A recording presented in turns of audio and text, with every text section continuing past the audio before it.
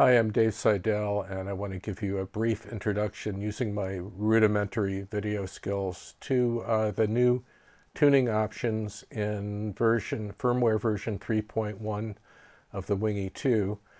Uh, this uh, new version gives you eight different microtonal scales that you can select from. Uh, six of them are just intonation scales, two of them are EDO scales.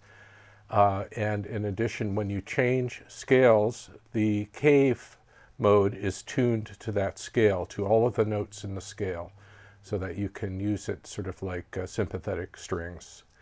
Um, the scales are selected in a couple ways. One of them is just using the uh, holding down the left mode button when you turn on the device and the positions of the sliders determines which scale gets loaded. I'll go into that later.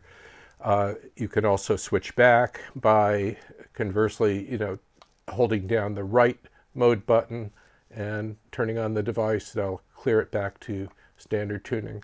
Uh, but even easier, you can do this all using MIDI, which is kind of cool because then you can switch tunings on the fly without having to restart the device. So um, that's all I'm going to talk about right here. I'm going to have some other segments following this uh, where I show in more detail how to uh, select a tuning, uh, both using the um, manual method and MIDI. I'm going to give you a, a, little run through of each of the scales so you get an idea what they sound like.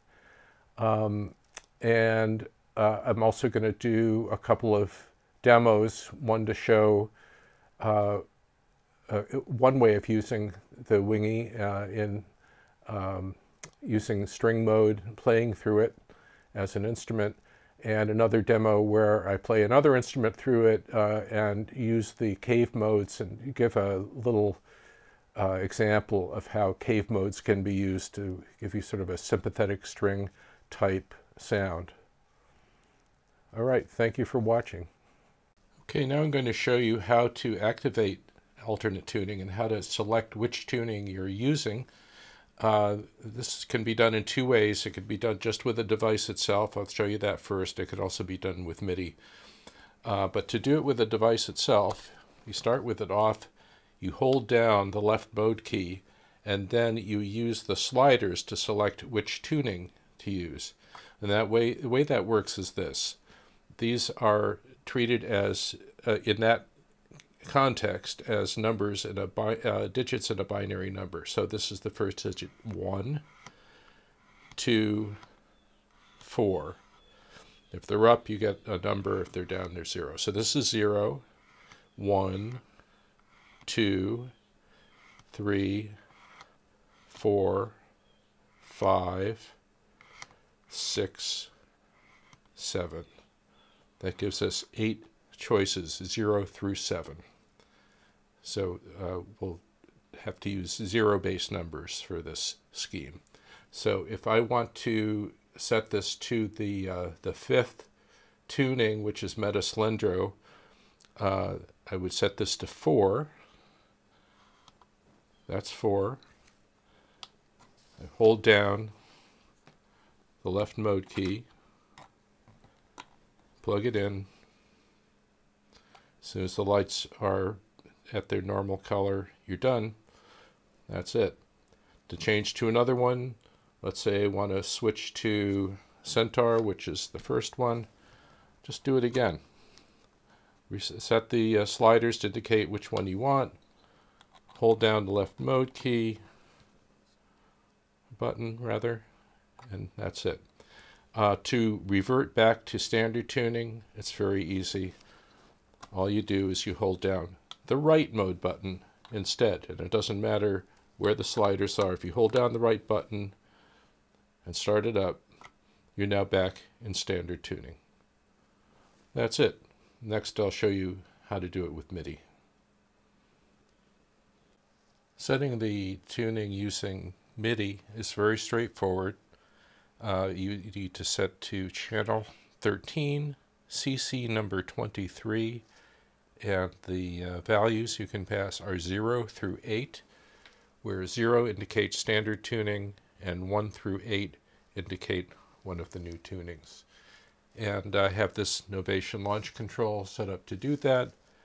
There's not really much to see. This guy is set up for standard tuning, and these are the different alternate tunings. So really all there is to it.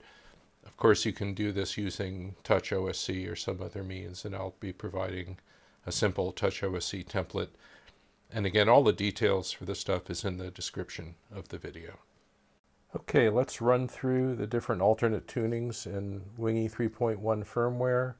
Uh, we'll start with the standard tuning just for reference. Uh, the only effect being used here is reverb.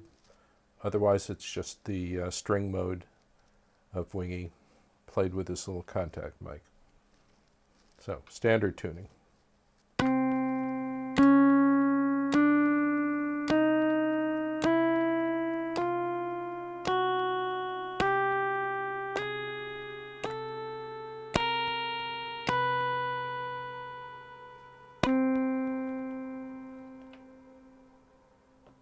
Now we'll get into the alternate tunings. There are eight of them. The first six are just intonation tunings, and the first one is called Centaur by Kraig Grady.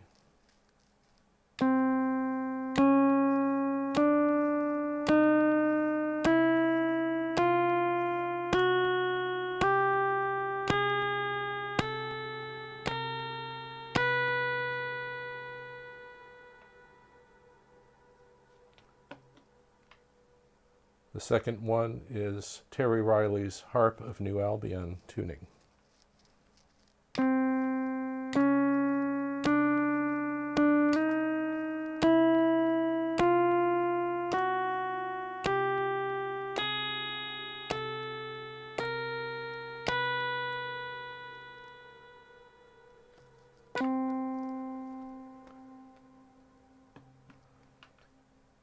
One is the harmonic tuning of Wendy Carlos.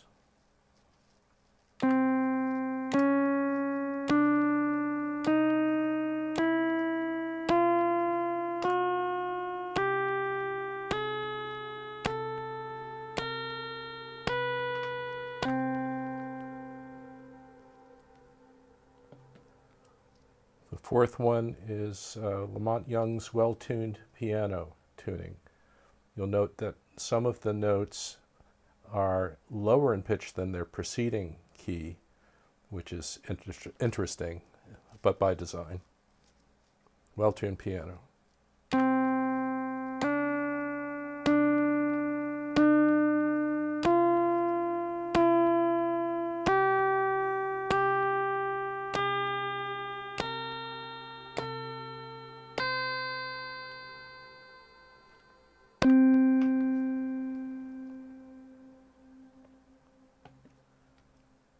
Fifth one is called Metaslendro. It's from uh, theorist uh, Erv Wilson's work as uh, continued by Kraig Grady.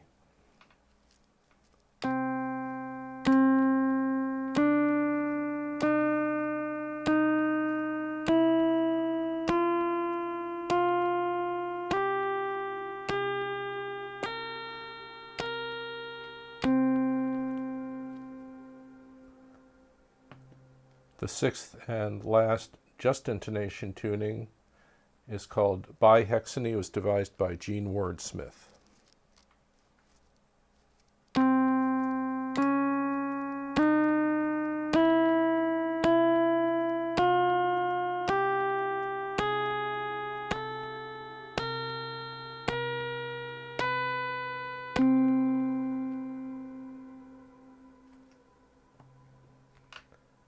The next one is the first of the EDO tunings. This is Paul Erlich's hexaphonic dodecaphonic tuning. This is uh, a 12-note subset out of 22 EDO.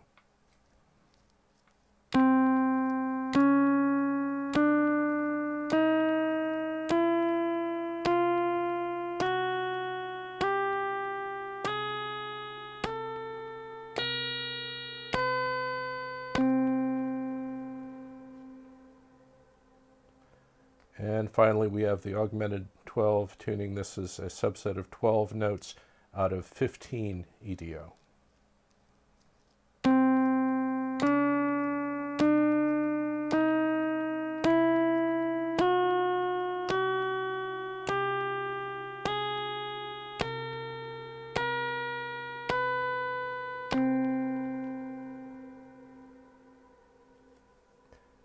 That's it. Those are the new alternate tunings in uh, the version 3.1 firmware of the Wingie 2.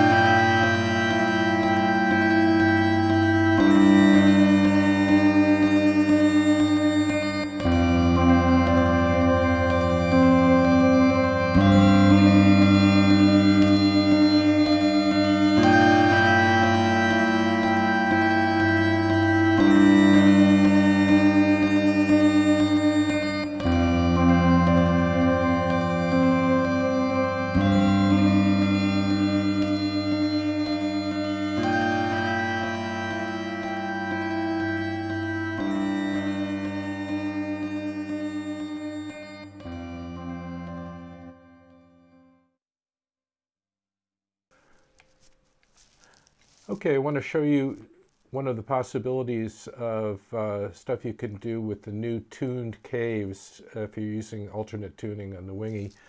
Um, I have my Wingie tuned to the Centaur tuning, and it's in cave mode, and uh, the, the, which means that all of the resonators in the cave are set to uh, notes that are in that scale um, alternating between the left and right sides, you know, odd and even numbers, so that I can fit an octave and a half on each side for each setting of the toggle switches. Anyhow, that sounds complicated, but it, it really isn't. Uh, what I'm playing here is an instrument called a Dvina uh, that was made by the people at Soma. They've done a lot of really cool stuff and the Dvina is a fretless instrument, but I use tied frets. And I have the set up to an Indian Marwa scale uh, in the Centaur tuning. So I'm going to play each note in the scale, and you'll hear how it resonates. Well, let me play it first, just the scale by itself.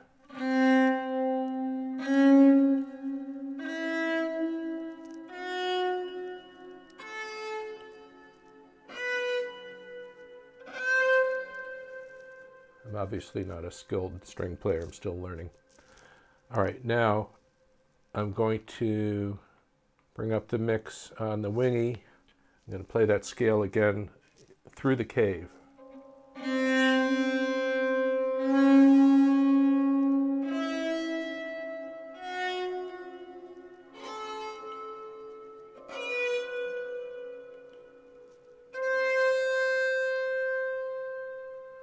You notice that each note I played resonated with one of the cave tones. Uh, so it acted a little bit like, it acts a little bit like sympathetic strings in instruments that have that feature, like many Indian instruments or uh, hardanger fiddle or uh, a few other things. So now uh, let me uh, make a little drone. I'm going to turn on these effects. So you have a sound like this.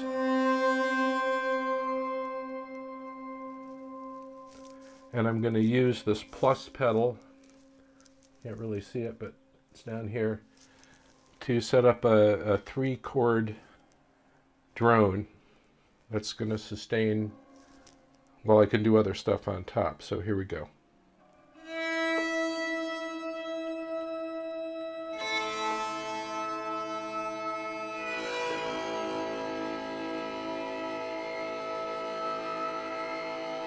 The drone. This is just the Dvina through the effects. This is the winging through the effects. I could bring it up an octave if I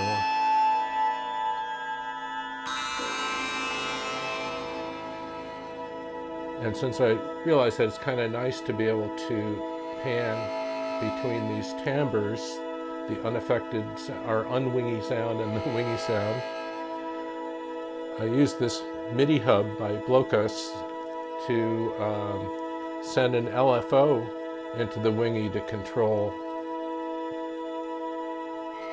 that parameter.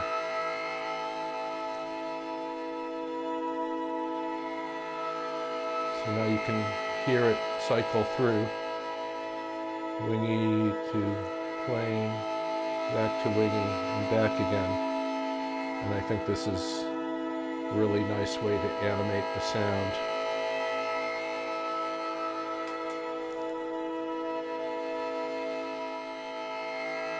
Now, in the context of a piece of music, uh, for example, I have a piece called Elegy for Harold Budd, uh, and I'm just going to do a little bit of an excerpt of that without any of the synth parts. This is just the Dvina stuff. But what I do there is I I uh, establish the drone, and then I create a loop using the microcosm. So here we go.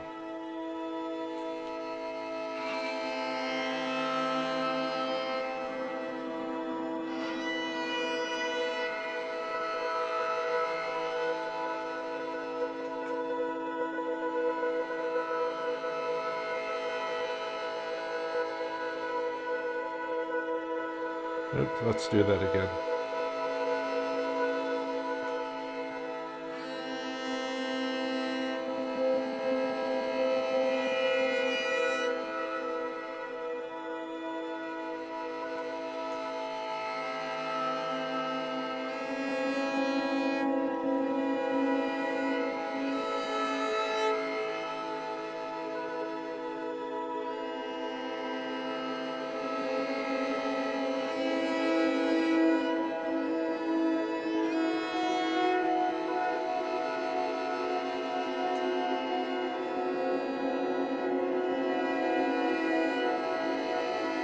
We have the three-note drone going through the wingie caves with some effects. And then on top of that, we have this little loop that's playing on the uh, microcosm. So that's an example of uh, some stuff you can do with the new tuned caves.